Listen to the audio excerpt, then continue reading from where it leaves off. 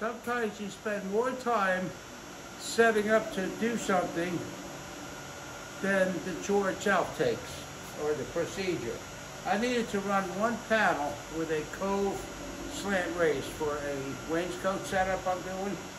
I only needed one panel, and I have dedicated shapers already set up with three different uh, raised panel slant. One is a slant, one is an angle, and one is a, a slant with a double bead on it. Um, this one I needed a cove to match a client's uh, walls that they already have set up.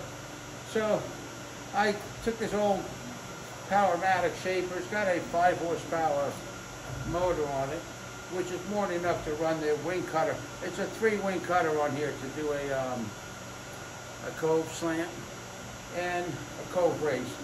At any rate, I just made this temporary, I took a couple pieces of plywood, chopped it up, as you can see here, used duct tape to help um, contain some of the dust.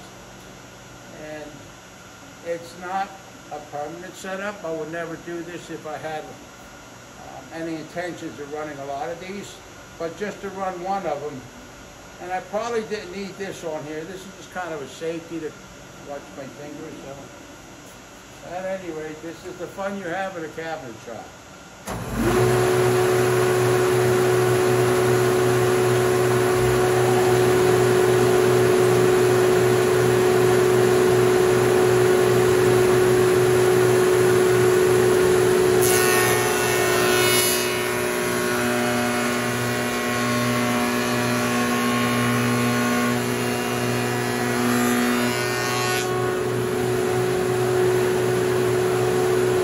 Yeah, there's the slant. See, it's a cove.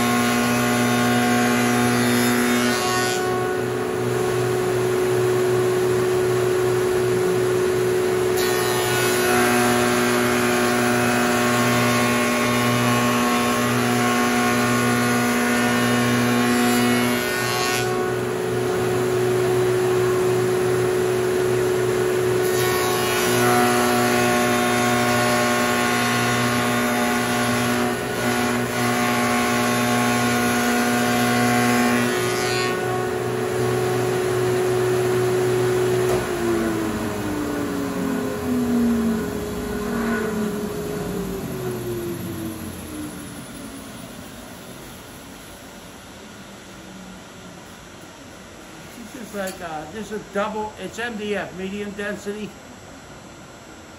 fiber board, but this is called double refined. And it's a lot more expensive and a lot heavier than regular MDF that you would buy. And if you ever bought MDF in your local Home Depot, Lowe's, lumber yards or whatever, they, they don't carry this stuff. Um, this is much more dense. And if you're painting, it's beautiful. It really comes up smooth. I mean, you can't see it or feel it, but this is just as smooth as the face itself, right? And it will, it won't just keep a, if this was regular MDF and you went to spray this, you'd have to put about 20 coats on here for it to finally, because it'll just keep absorbing the paint and, um, like a sponge.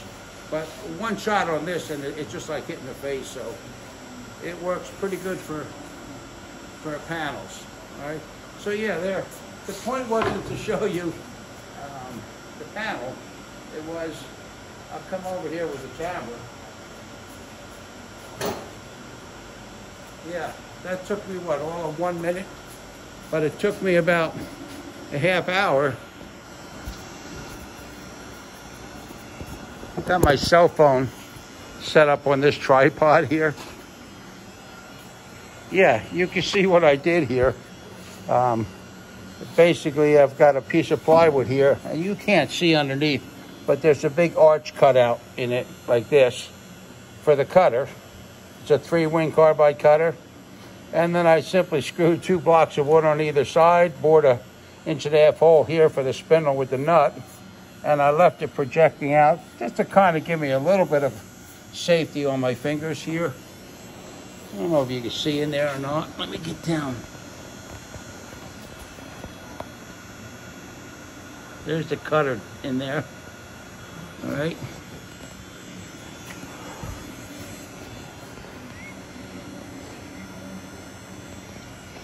Yeah, sometimes it takes longer. Yeah, half a roll of duct tape. Sometimes it takes longer to set up to do a procedure than the procedure itself. Um, that's it for when you have these one-off. Okay, so yeah. So this is the slant raise, or a cove race, all right? I had this cutter actually made up for a job years ago.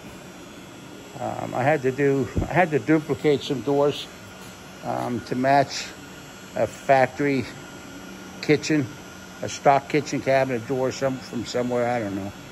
It was a huge cherry kitchen. I had to make about 40 doors. And I think we had 37 drawer faces. But I had this cutter made up. Uh, I want to say it was about $400. And that was back in the 80s to have that three-wing carbide cutter set up.